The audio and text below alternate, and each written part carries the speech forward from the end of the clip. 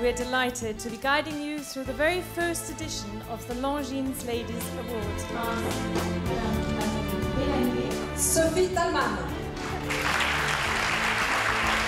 It was a very big surprise because I didn't know that uh, Longines wanted to, to give us a new prize, like a Longines uh, Ladies Award.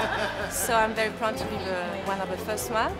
Mrs. Miranda is a very bright young lady. She's uh, only 28.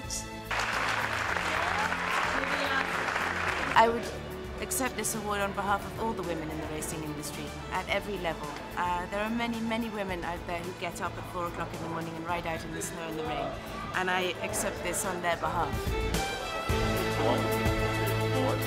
I think the connection of uh, the Longines Ladies Award with the Prix de Diane uh, Longines race here at Chantilly is uh, a very obvious connection because it's a celebration of fillies and also uh, the races historically is always a celebration of uh, the elegance of, of women being able to dress up and enjoy the day.